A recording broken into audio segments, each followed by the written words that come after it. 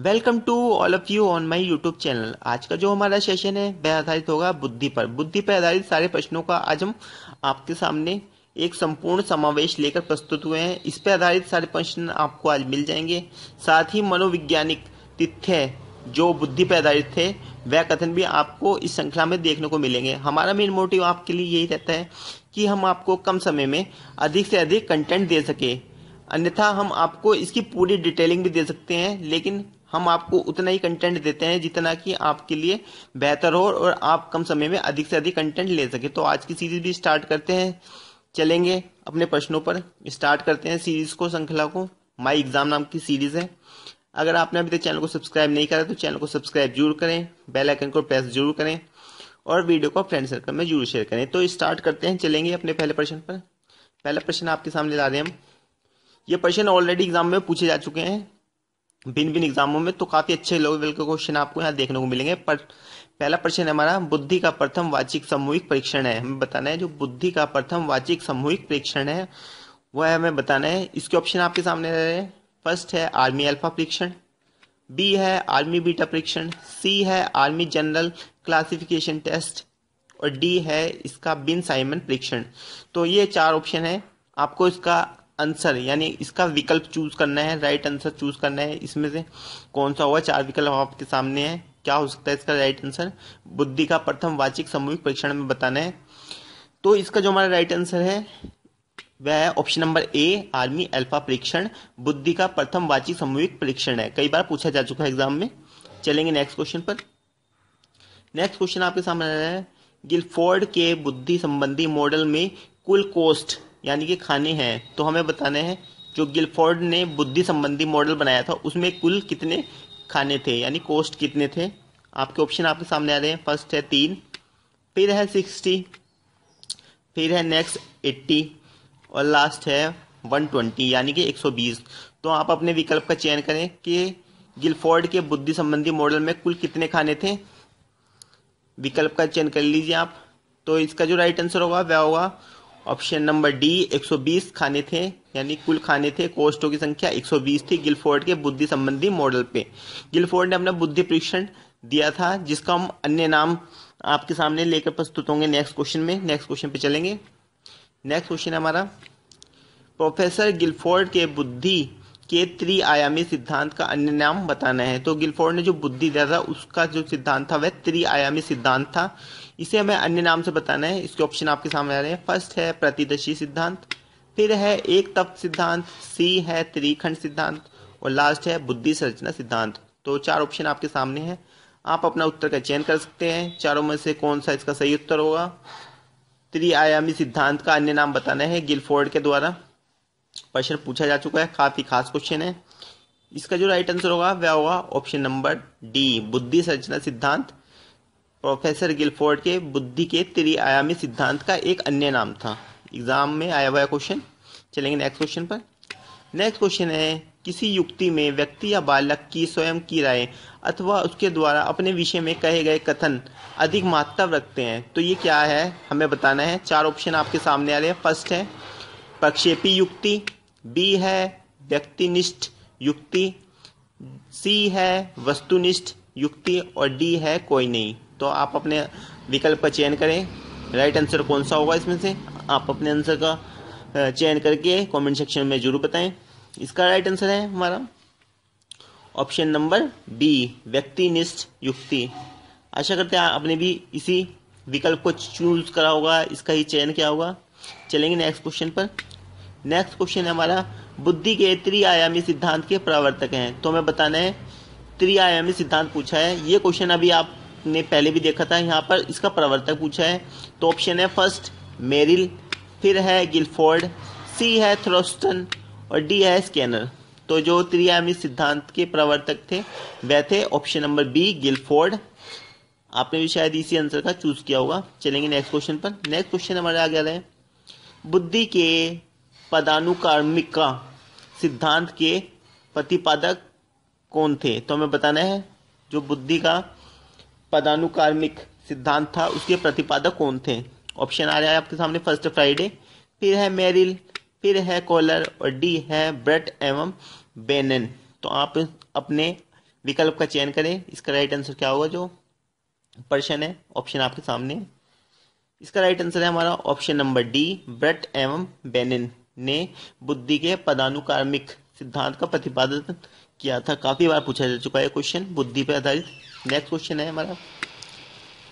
प्रतिदश सिद्धांत sampling theory के प्रवर्तक थे तो हमें बताना है प्रतिदश सिद्धांत के प्रवर्तक कौन थे? ऑप्शन है फ़र्स्ट सीरियल बट फिर है थॉमसन सी है थ्रस्टन और डी है थॉन्डाइक तो बताइए, यह भी क्वेश्चन कई बार पूछा जा चुका है एग्ज़ाम में।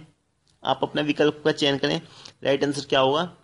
इसका राइट आंसर होगा option number B Thomson Thomson ने ही प्रतिदर्शी सिद्धांत दिया था, प्रतिदर्श का सिद्धांत सैम्पलिंग थ्योरी के सिद्धांत के प्रवर्तक थे थॉमसन नेक्स्ट क्वेश्चन पे चलेंगे. नेक्स्ट क्वेश्चन हमारा, बुद्धि. बुद्धि के बारे में ये तीन, चार स्टेटमेंट है हमारी. हमें बताने हैं इसमें से कौन सी राइट होगी. ठीक है? फ़र्स्ट है हमारा पर्यावरण के साथ अनुकूलन एवं संयोजन की क्षमता. बी है हमारा सीखने की योग्यता, सी है अमूर्त चिंतन है, और फोर्थ है हमारा समस्या समाधान की योग्यता है। तो हमें बताना है, बुद्धि में कौन कौन से विकल्प हैं? इन चारों में से जो जस्टिफाई करते हैं, आपके ऑप्शन आपके सामने है। फ़र्स्ट है, फिर सेकंड है, फिर थर्ड है, और फोर्थ है। तो बताइए कौन सा सही होगा इसके लिए?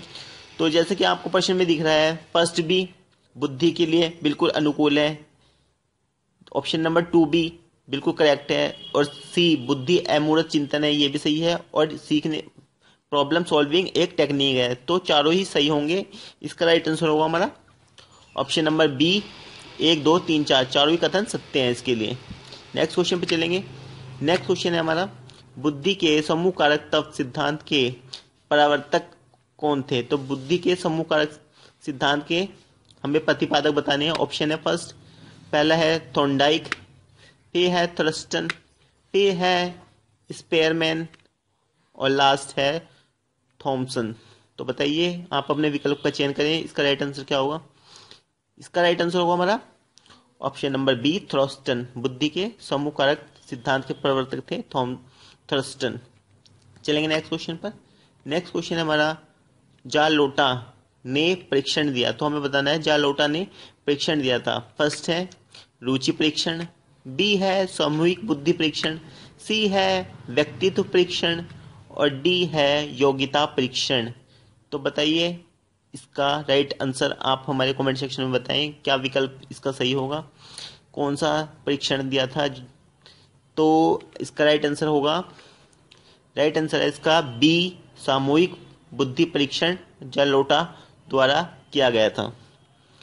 ठीक है, चलेंगे नेक्स्ट क्वेश्चन पर। नेक्स्ट क्वेश्चन हमारा। किसी मनोवैज्ञानिक ने बिन साइमन के परीक्षण स्केल को स्टैनफोर्ड बिन स्केल में रूपांतरित किया? तो हमें बताना है, किसने रूपांतरित किया था स्टैनफोर्ड बिन स्केल में? फ़र्स्ट है टर्मन, फिर बी है विलियम स्टर्न सी है दोनों, और लास्ट है कोई नहीं। तो आप अपने विकल्प का चयन करें राइट आंसर बताएँ, क्या होगा इसका? चूज़ कर लिया जी आप अपना विकल्प। इसका राइट आंसर होगा हमारा ऑप्शन नंबर ए, टर्मन। तो टर्मन ने क्या था, स्टैंड फॉर बिन स्केल को रूपांतरित। चलेंगे नेक्स्ट क्वेश्चन पर।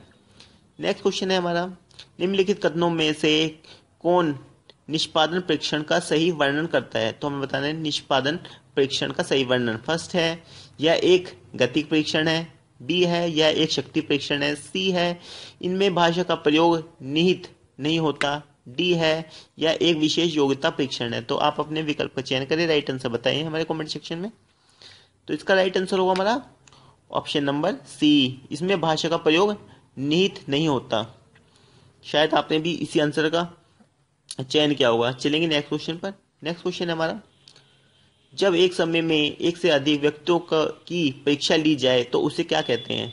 ऑप्शन आपके सामने आ रहे हैं। फ़र्स्ट है व्यक्तिगत बुद्धि परीक्षण। बी है सामूहिक बुद्धि परीक्षण सी है साक्षात्कार और डी है उपयुक्त में से कोई नहीं। तो बताइए इसका क्या राइट आंसर होगा? आप अपने विकल्प का चयन करें। इसका राइट आंसर होगा, वह होगा ऑप्शन नंबर बी सामूहिक बुद्धि परीक्षण तो काफ़ी सारे व्यक्तियों का जब एक साथ हम परीक्षण लेते हैं तो उसे सामूहिक कहते हैं, सामूहिक बुद्धि परीक्षण राइट आंसर ये है इसका। आपने भी शायद इसी आंसर का चयन किया होगा। चलते हैं नेक्स्ट क्वेश्चन पर। नेक्स्ट क्वेश्चन है निम्नलिखित में से कौन सा कथन सत्य हमें बताना है? फ़र्स्ट है, लड़के अधिक बुद्धिमान होते हैं। बी है, लड़कियाँ अधिक बुद्धिमान होती हैं। सी है, बुद्धि का लिंग के साथ कोई संबंध नहीं है। और डी है, सामान्यतः लड़के लड़कियों से अधिक बुद्धिमान होते हैं। तो आप अपने आंसर का चयन करें। राइट आंसर बताएँ। तो इसके आंसर पर चलते हैं। इसका राइट आंसर होगा ऑप्शन नंबर सी, बुद्धि का लिंग के साथ कोई संबंध नहीं है। चलते हैं नेक्स्ट क्वेश्चन पर। नेक्स्ट क्वेश्चन है, यदि एक बच्चे की मानसिक उम्र पाँच वर्ष है और वास्तविक उम्र चार वर्ष है तो बच्चे की बुद्धि लिप्ति कितनी होगी? तो हमें बुद्धि लिप्ति का सूत्र पता है हमें। उस पर आधारित हम इसका आंसर निकालेंगे। फ़र्स्ट है 125 फिर है 80 सी है 120 फिर है 100 तो आपको उसका फार्मूला पता होगा, बुद्धि लिप्ति का सूत्र निकालने का। मानसिक आयु अपॉन वास्तविक आयु इंटू हंड्रेड तो इस फार्मूले को लगा के हम इसका आंसर निकाल सकते हैं। ठीक है, मानसिक आयु अपॉन वास्तविक आयु इंटू हंड्रेड तो इसका जो राइट आंसर होगा, वह option number A one twenty five चलेंगे नेक्स्ट क्वेश्चन पर। नेक्स्ट क्वेश्चन हमारे आगे आ रहा है। बच्चे की बुद्धि लिब्धि नब्बे से एक सौ दस के मध्य में तो वह फ़र्स्ट है सामान्य बुद्धि, फिर है प्रखर बुद्धि, सी है उत्कृष्ट बुद्धि, और डी है प्रतिभाशाली। तो आप अपने उत्तर का चयन करें, बताइए इसका राइट आंसर क्या होगा नब्बे से एक सौ दस के मध्य वाले बालक को। क्या कहेंगे? इसका राइट आंसर होगा हमारा, वह होगा सामान्य बुद्धि। नब्बे से एक सौ दस वाले बालक को सामान्य बुद्धि के अंतर्गत रखते हैं। नेक्स्ट क्वेश्चन पे चलते हैं। तो आज का क्वेश्चन है जो मोस्ट इंपॉर्टेंट क्वेश्चन है, इसका आंसर ज़ीरो से पच्चीस बुद्धि लिब्धि को क्या कहते हैं? हमें बताना है। ज़ीरो से लेके पच्चीस बुद्धि लिब्धि वाले बालक को क्या कहेंगे? फ़र्स्ट है मूर्ख बालक, फिर है जड़ बालक सी है पिछड़े बालक, और लास्ट है मन बुद्धि बालक। तो बताइए आप इसका आंसर क्या होगा? इसका राइट आंसर होगा ऑप्शन नंबर बी जड़ बालक। ज़ीरो से लेकर पच्चीस तक बुद्धि बालक को बुद्धि लुब्धि वाले बालक को जड़ बालक कहते हैं। काफ़ी बार पूछा गया है क्वेश्चन भी। तो यहाँ पर ये हमारी सीरीज़ समाप्त होती है। आशा करते हैं आपको अच्छी लगी होगी। इस पर आधारित और भी काफ़ी सारे प्रश्न बनते हैं। आज के लिए इतना ही। नेक्स्ट सीरीज़ में इस पर आधारित अन्य प्रश्न हम आपके सामने लेकर प्रस्तुत होंगे। उम्मीद करते हैं आपको अच्छी लगी हो श्रृंखला अच्छी लगी है तो लाइक करें शेयर करें।